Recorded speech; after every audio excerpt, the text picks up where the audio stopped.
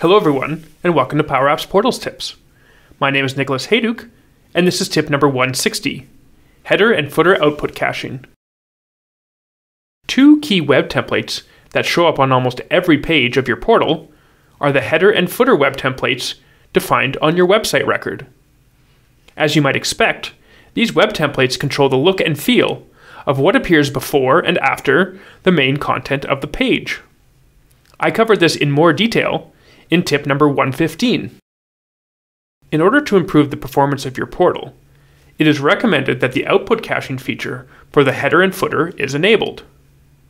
Output caching means that rather than those two web templates being parsed and rendered for each request made to the portal, instead the portal does it once and caches them. This greatly improves the speed of a page load in the portal. Output caching is controlled via the header forward slash output cache forward slash enabled and footer forward slash output cache forward slash enabled site settings.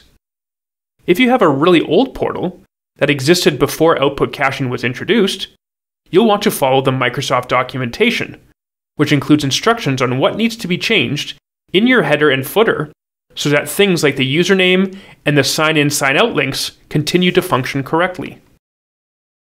Output caching is enabled by default on all new portals.